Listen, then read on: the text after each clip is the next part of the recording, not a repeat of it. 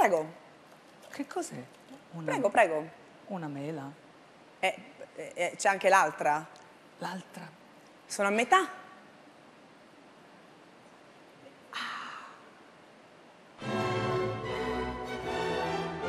Ah, così proprio con la musica? Brava Sambrina, hai capito?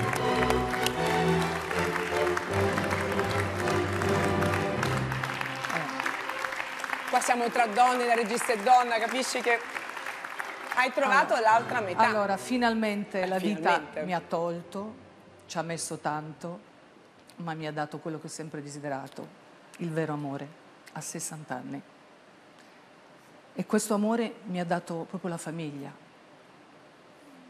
mi ha dato anche due bambini che abbiamo preso in affido, Sebastian e Rebecca.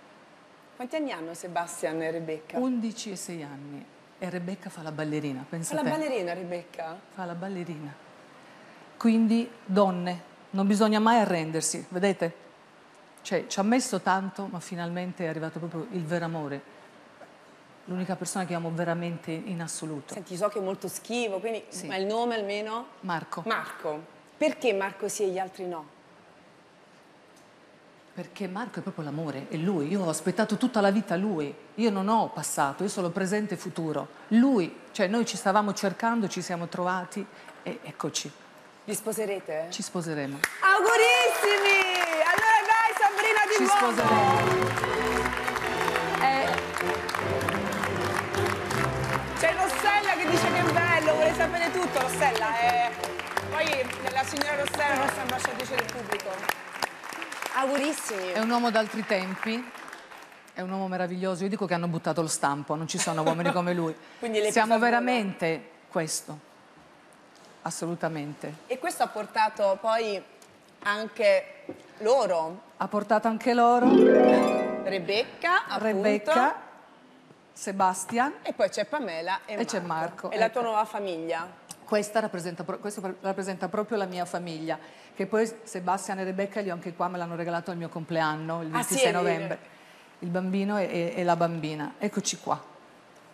Siamo noi. Senti, una scelta anche un po' criticata, possiamo dirlo, come a 60 anni vuoi fare la Sì, mamma. Ma la mamma non ha età, quindi io sono una donna forte, in salute, faccio le corna.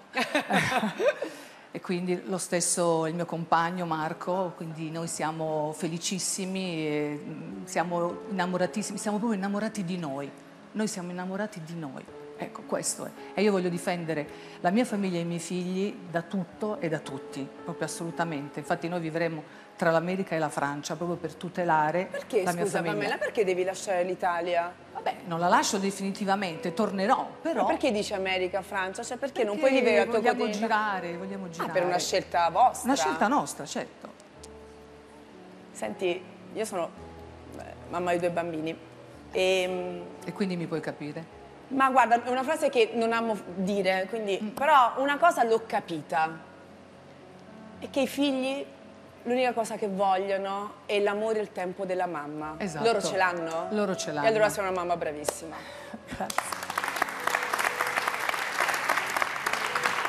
Perché ogni tanto ho letto qualche commento sui tuoi social. Sì, sai, purtroppo i social lasciano il tempo che trovano, attaccano, anzi purtroppo tanta gente non ha nulla da fare, prende, scrive, fa. Eh, hanno attaccato anche appunto i miei figli e questa, e questa scelta. L'amore non deve essere assolutamente criticato, è la cosa che veramente ci rende forti e io sono così felice, orgogliosa di avere questa famiglia, la difenderò con le unghie e con i denti, E fai assolutamente. bene, anche perché è una cosa che hai sempre sognato di creare. sempre sognata. Ti faccio vedere un'intervista a sottovoce da Gigi Marzullo, un po' di tempo fa. Le manca qualcosa in questo momento, in questa stagione della vita? Sicuramente mi manca una famiglia, che comunque quando tu hai una famiglia sei anche più forte. Vorrei dedicarmi a qualcuno che non siano in questo momento, in questi ultimi dieci anni mi sono occupata dei miei cani, che amo tantissimo, però è giusto che magari una donna faccia anche dei figli, si dedi- dedichi a un marito o a un compagno o a dei figli. Hai mai pensato che quella famiglia tanto, tanto desiderata non l'avresti mai avuta?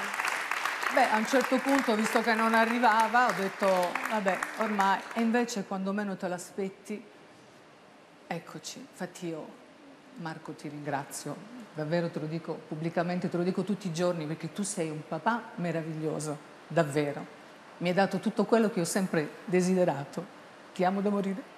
E ora invitateci al matrimonio però, eh? Amiamo da morire i nostri figli.